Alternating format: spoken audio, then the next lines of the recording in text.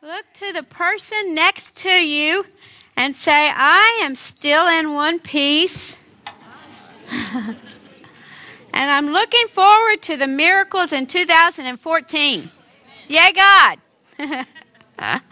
Thank you for worshiping with us today. I'm excited to get to speak with you. Let's pray. Dear God, as we come to you today, I pray, Father, that no matter what's going on in our life this week, this year, that we can come to you today expecting a miracle, that we can come to you expecting great things in our life. Father, we surrender to you. We give our heart, our mind, our soul, our spirit. Father, within surrendering to you, I know that we're receiving the grace, the hope, the love, and the mercy that comes from you. Father, we're receiving that in all things. And I pray, Father, that as I speak to these amazing people that you have given at this time to be here and to get to share with, Father, I pray that you would let me sit down and you stand up and speak in a mighty way. In Jesus' name, amen.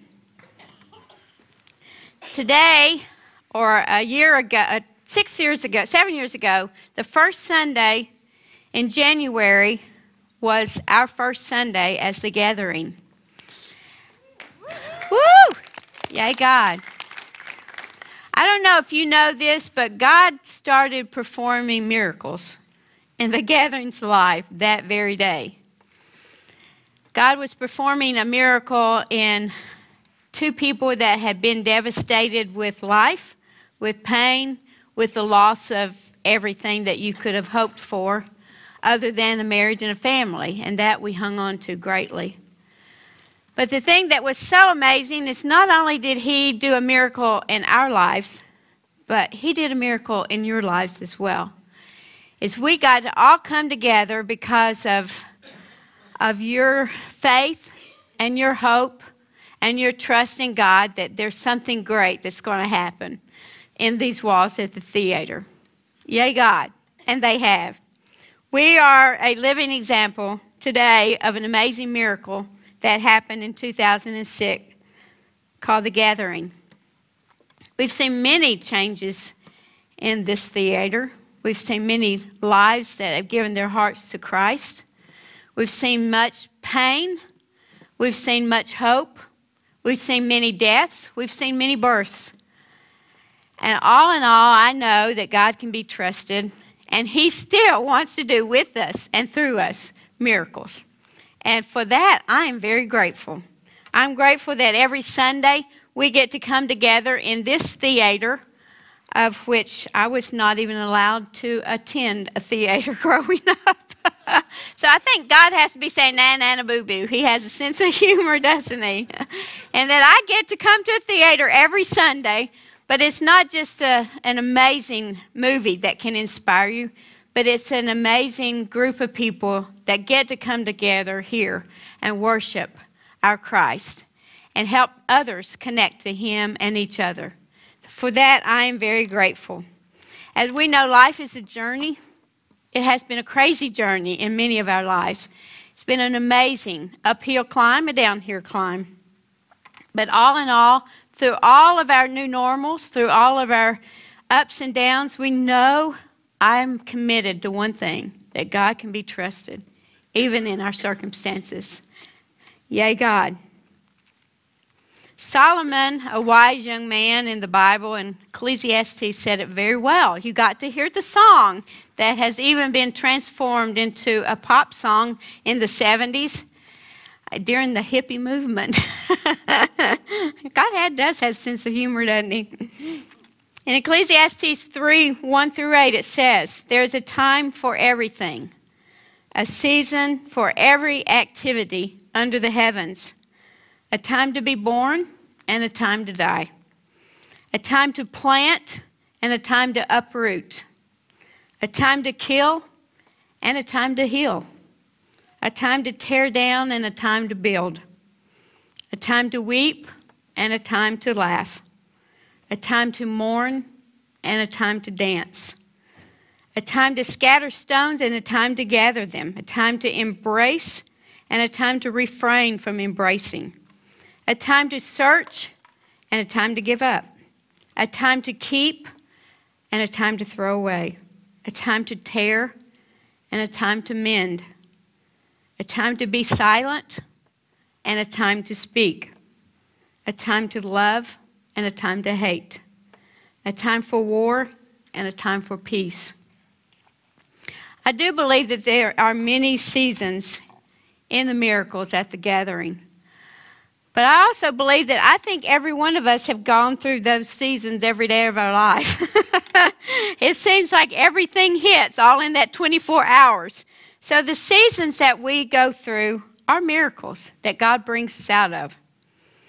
But as I was looking at the word miracle, we use it so lightly so many times. We talk about it almost as it's awesome, it's powerful, it's majestic, but but yet at the same time, it is a powerful word. And I wanted to see what Webster has to say about miracle. And when I looked it up, it said it's a miracle is an extraordinary event in the physical world that cannot be explained other than a supernatural cause. It's definitely a work of God. So you guys are miracles. I am a miracle. The gathering is a miracle. But within miracles, it requires a big other word called faith. faith is a huge word that requires a lot. In Hebrews 11:6, in fact, it says, "Without faith, it is impossible to please God. Without faith, there are no miracles."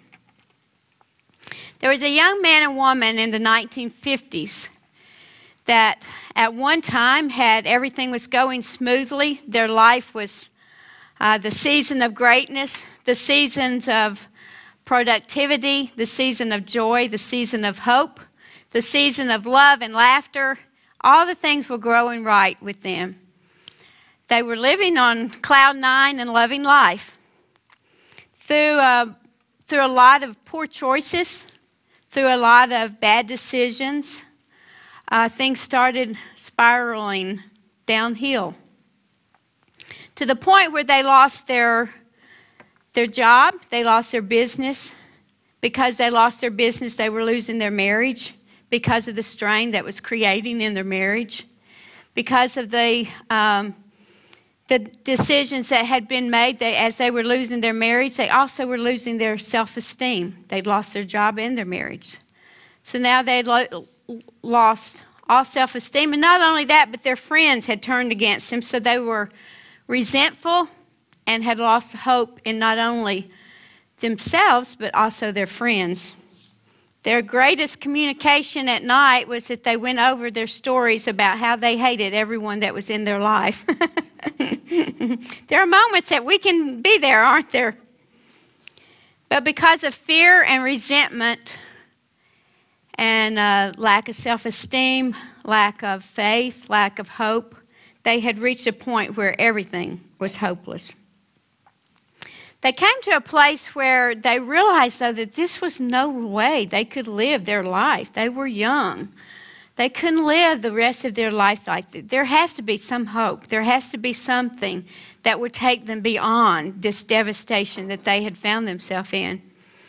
They heard about a young man named Norman Vincent Peale that pastored a church much like the gathering, that instead of condemnation and guilt and judgment and fear and all the rules and regulations, that he talked about the faith of Christ, the faith in Christ. He talked about hope in Christ. He talked about the redemption of God. He talked about the grace of God, the love of Christ. And they started attending this place, and the more they went, the more they got curious about are we at a place where we can ever have hope? Are we at a place where we can ever reach beyond this devastation? So they met with him, and his encouragement to them was Your story is surreal. It's one of the worst I've ever heard.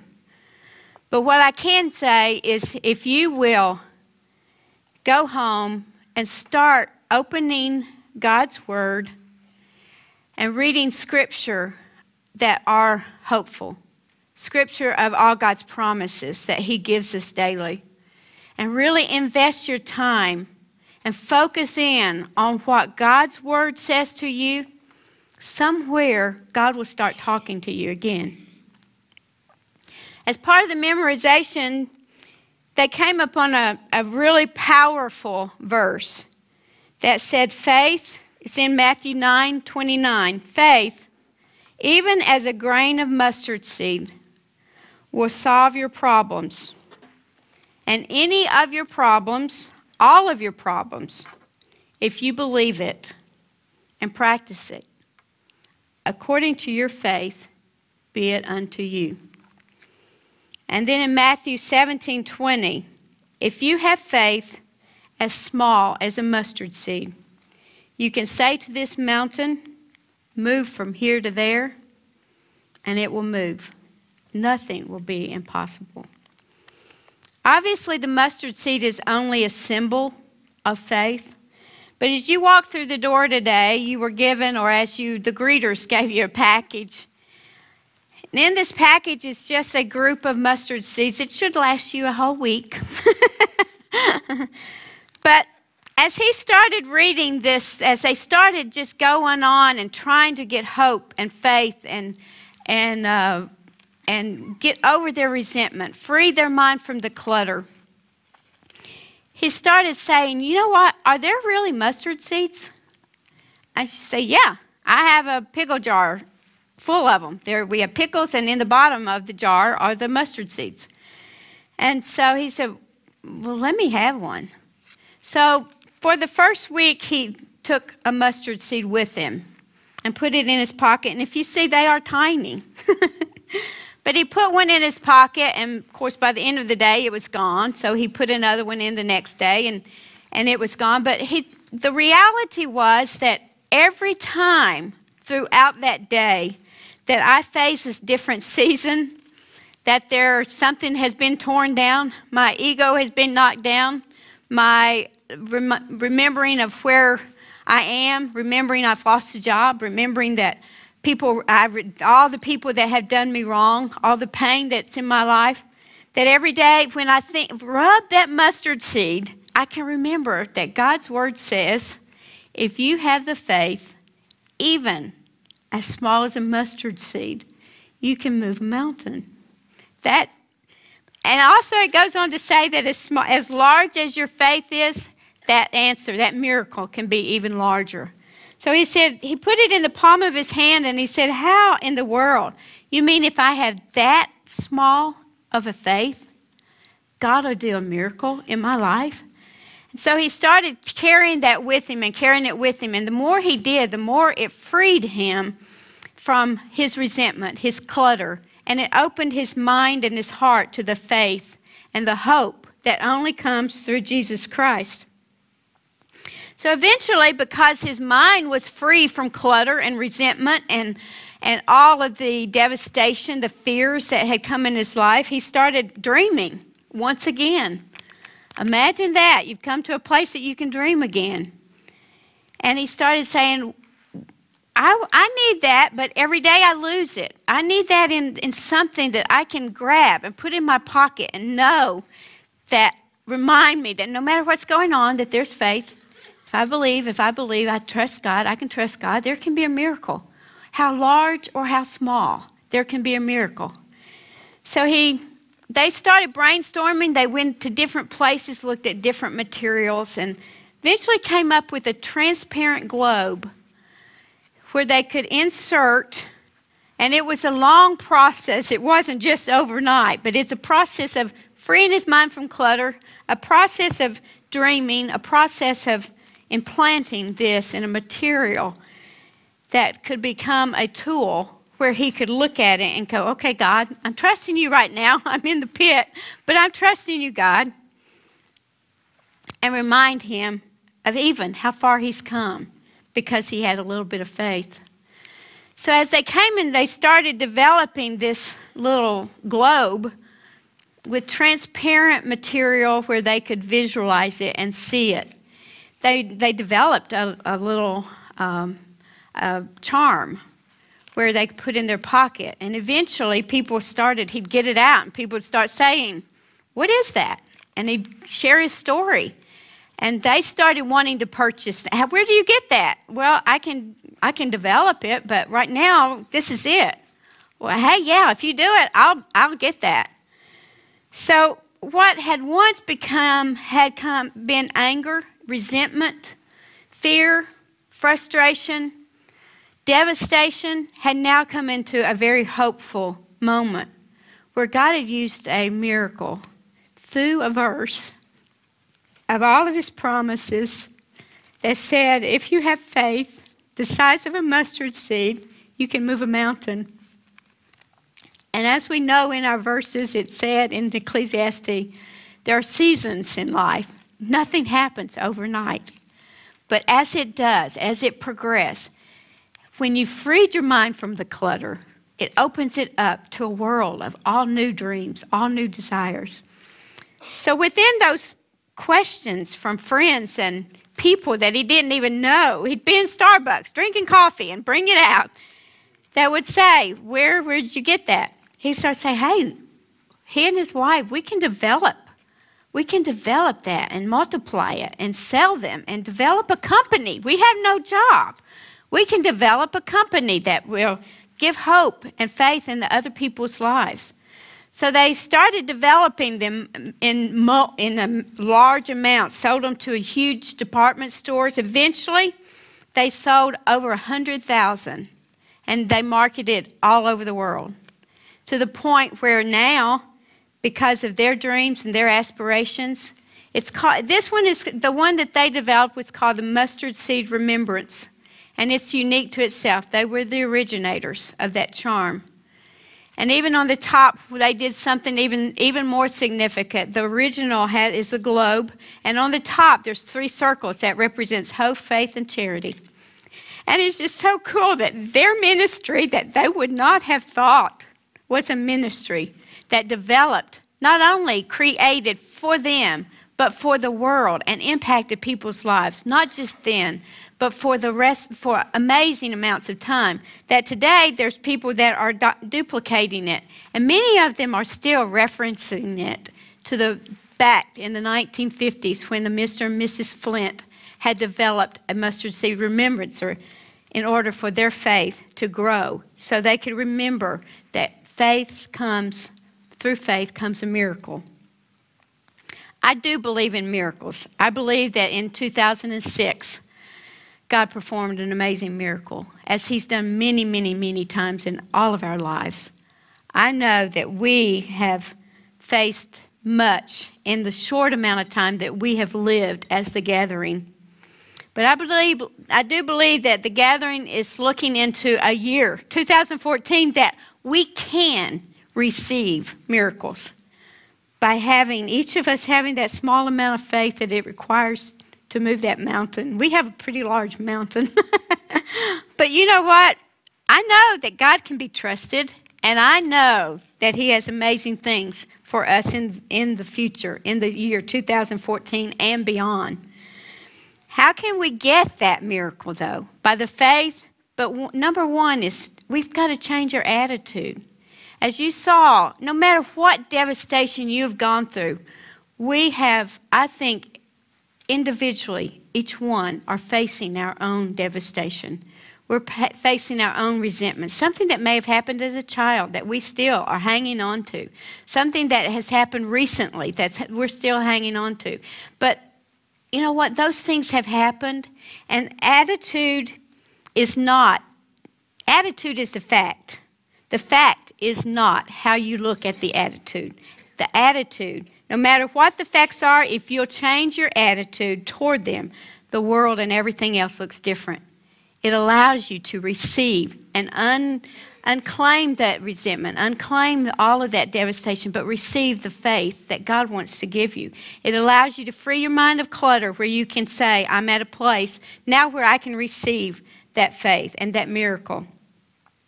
Number two is believe that God is present, that He is here with you every step of the way, that He wants you to talk to Him man to man like He's a friend. He wants you to tell your deepest heart, your deepest pain. He wants you to say, I hurt. I need help. I don't have the faith right now, but I pray you'll help me get there. And He will. And how does He do that? Through all of the scripture that He gives us, all through the Bible. I, we have given, been given promises that He has kept over and over and over again, but we still can doubt. We still fear. We still have devastation. Those are the seasons that happen in our life. The third is acquire a genuine peace. The Flint family, once they got through that devastation, once they they started getting hopeful, once they started believing, once they started having a little significant amount of faith, the miracles started happening. And they had an, a genuine peace that God's in this. He had proved himself. He had proved that if you believe, if you keep believing, if you keep moving forward, if you keep going forward, that He's got a plan and a purpose, and He's going to orchestrate it just as He has the gathering, just as He has all of your lives individually. And also, the, the last one is believe that it's a partnership with God. He's arm in arm with us. And again, we have 66 books in the Bible that he talks to us daily. If we don't if we don't open it, if we don't listen to it, that's our problem. Because he said all it takes is that small little amount of faith to move a mountain. And if we have the faith, we can believe in miracles. I'm expecting miracles as you sit there, I'm sure all of your devastation, because I know many of your pains. I've, I've talked with you throughout the years. We are connected to God and each other. Yay, God. We are a unique place that we get to come and hear a message of hope and grace and love into our lives and forgiveness to other people, but we can move forward. And as we look at the gathering and how I know and you know that God orchestrated it, He created a miracle here, 2006. And while I know that our new normal that occurred April the 2nd, 2012, it has been not something that we would have chosen. But yet, because of our small amount of faith, he has moved mountains. he has, this is a year and a half later, and we're here. And God is going to really perform a miracle in your life and the gathering's life this year. I know that without a doubt because we have that faith. And when we don't, we're going to remember it just requires that small amount of faith. Whatever resentment I need to release, let me release it. Whatever pain I need to release, it's not doing you any good to hang on to it. Release it. Give it to God. But have that, re, uh, duplicate it with the faith. Replace it with the faith that God says you can have and create a miracle. Two things that I know right now in this moment that God has shown up in a miracle with the gathering just the last two months and I know without any doubt that He's going to continue showing up in the year 2014. It's because when I sent an e blast out and said, We're trusting God in this process, this is where we are. I need to talk to you right now. I need to share with you where we are as a church. But I'm not believing that God's not done with us. But if He is, we will move forward gracefully and still hopeful in our life. But God's not done with us. He's shown us. A couple months ago, when I sent that simple e blast out, many received it, gave above and beyond their tithes and offerings. Thank you, Jesus. Many have been blessed by something that happened in their life, and they gave money above and beyond toward the gathering to say, We still have that faith. We're going to move this dadgum mountain. We're going to make this theater continue to be a place of hope and grace and mercy for people who want to come and connect to God and each other. And let them walk away with the hope of Jesus Christ. Many of you gave above and beyond. I had two families who gave $10,000 each who just said, I know God's in this. I know it. And do you know the cool thing is that when you give, God will give back. So even those people who gave above and beyond, that wasn't given in vain. God is going to multiply that in their life as well. So it's a win win situation here. But I also want to tell you about our, as we progress, as far as a speaking pastor. I know there is someone or many people that God wants to lead here and to speak the same vision, the same dreams, the same theology, the same principles that we have as the gathering. That's really important. And so, as God opens doors and closes them, I've met and spoke with many people during this year's time. And there have been many that have been that close, and God just shut the door.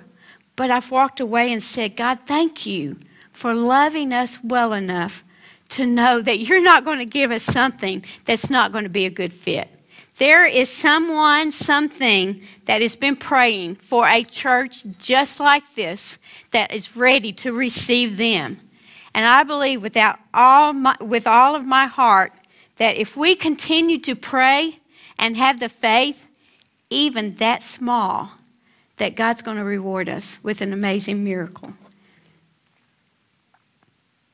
As I was going through our, our message and preparing, and looked up the word miracle and talk and just thinking about what is a miracle? How can we acquire it? I wrote down the word miracle and, and came up with an acronym that expresses what we as a gathering, what you as individuals, what me as an individual, what I as an individual can acquire with a miracle. The, the, the M was a miracle of the meaning of relationships with God and each other. We have an amazing church. I hope you know that. You are loved well by God. I know I am loved well by you guys, and I hope you know that I love you well. But we have an amazing relationship with God, number one, but with each other. And by embracing each other during this time, through whatever season you're going on, we can continue to acquire the faith that result is a miracle. The I's irreplaceable, irreplaceable passion for growing the church and believing that God has us in His care. I do believe that. I have no doubt about that. The direction God is guiding us in, the many people that I'm speaking to, the many people that you have referred me to, God is using all of those tools to get in the process of getting to what God knows that is right for us and that we're right for Him. The renegade spirit, get up, suit up, show up, and do the next right thing trust God for the result. We've been doing that, and we'll continue to do that. And I am amazed every Sunday morning when we come together and we're in this amazing movement of helping hurting, messy people in their relationship with God and each other. I don't know about you, but I'm I'm pretty I think everyone in here could say right now there's something that I haven't heard about. I know that. That's because we're, we're human. I had a, I received word last night that a person that's been in my life for quite some time now, for probably 25 years, that she had chosen to take her life. And that is just, um, that bothers me. And the fact that you think there are people hurting so desperately that all they can think of is my escape. They haven't come to a place in their life of freeing from resentment and pain and disappointment and hurts and people that have disappointed you, whatever your relationships are, but they felt like they could not get up and face the next day. I'm grateful that we are getting up, suiting up, showing up, and doing the next right thing, trusting God for the results our absolute trust in God, the clarity of our vision. Our absolute trust in God is I just covered that. But every day when we get up, our absolute trust that God has us in His care, that He's going to take us that next step. He's going to keep performing a miracle in my life, in your life, as well as the church congregation. Yay, God. He's going to keep sending us people that connect to Him and each other, and that we can give them hope in their life. The clarity of our vision. I am, have to say, at this moment, I was super impressed with our advance team. When we met with someone that we had prayed about, and I felt like they could be a God thing, but there was just something that I wasn't getting a peace about. And when we came together with the advance team, I was so proud that I walked away and I told my daughters, they've got it. They understand who we are as a church. They understand we don't need traditional church. We need to help people, no matter where they are in their state, when they come to hear a message from God. We need to teach and preach the gospel of Jesus Christ that no matter where they are in their relationship, they can walk away and go, I think I can make it the next day. I think I've got a little more faith that I can look at that mustard seed and take me, move that mountain that's in my life. Yay, God. So, the clarity of our vision, the lessons that we know are worth walking through. There's so many times in my life that I have thought, surely one day I will have achieved the fact that I have an adult, I am a mature adult, adult responsible person, that I don't need any more lessons. But they just keep coming. but we know that in all things, God works together for good to those who love God and are called according to his purpose. Establish a more than enough attitude. God wants great things for us. If we have faith, we're going to receive it. And the last is surrender it to God. I am today and every day of my life giving my heart, my mind, my body, everything within me to God. Because He's never, ever proven wrong. He's always been faithful. And I have no doubt to believe that He's going to continue that. And He wants to go with us a miracle. I know that. It takes that little faith. Wow. Pretty awesome, isn't it? In Isaiah 43, when he talks about all the miracles that he has done in the Bible, he goes, he talks about the roads that he has built right through the ocean. He's talked about that he's carved a path through pounding waves. The God who summons horses and chariots and armies, they lie down and then can't get up. They're snu- they've snuffed out like so many candles. Forget about what's happened in our history. Be alert, be present. I'm about to do something brand new and create history right here. We're, we are part of something so big that would have failed if God had not shown up. Yay, God. We are part of that. Today, as we come right this moment, as I'm ending, Matthew 18 20, it says, Where two or three are gathered together in my name, there I am in the midst of them, I will hear and answer prayer. As we close, I, I pray wherever you are in your heart, wherever you are in your resentment, in your anger, in your pain, in your devastation, or in your freedom, that we will all be at a place where we are ready to accept the miracle that God wants to give us, all because of our faith. Let's pray. Dear God, as we come before you today, I love you and I'm so in awe of all the promises that you have given us throughout all of your word, dear God. And what's so awesome that I have received it all of my life, but I've received it firsthand so many times every day of my life in the last year. And dear God, you've proven yourself because you said you would, not because I, we have to doubt, but because you said it. No matter where, what state we're in, You are true to your promises. And Father, I pray that right now, I know personally there are people who have had a very devastating year. I pray that right now that their faith can grow to the point that they're believing in a miracle in 2014. Individually, they believe in that miracle, and every day when we look at our mustard seed, we can be reminded of that symbol that our faith, so small, can move a mountain. And Father, I pray that at this moment in our life right now, we're trusting you for great things. Father, I am so very hopeful. I believe that with our faith, you are getting ready to produce the largest miracle that's not going to be silent in the year 2014. I love you, God, and I thank you for all you're going to do, all you've done, and all you are at this very minute doing in our lives. Amen. Let's go get them, guys.